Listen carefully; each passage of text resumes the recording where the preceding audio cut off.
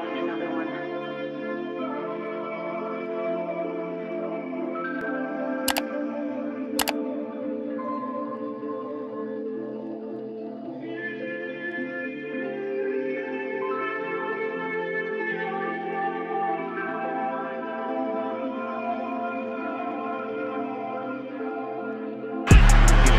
His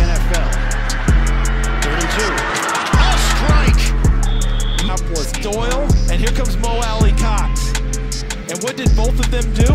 They went. It's a formidable task against anybody to stop this. Looking to throw, and he's got Allie Cox for a first down near the 50. For a first down. Three-man rush.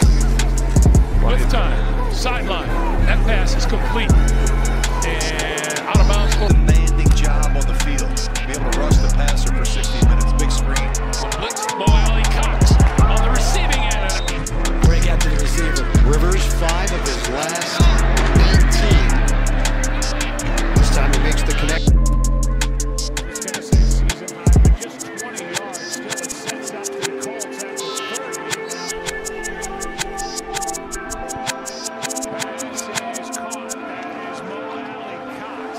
Three tight end formation. Colts go empty here.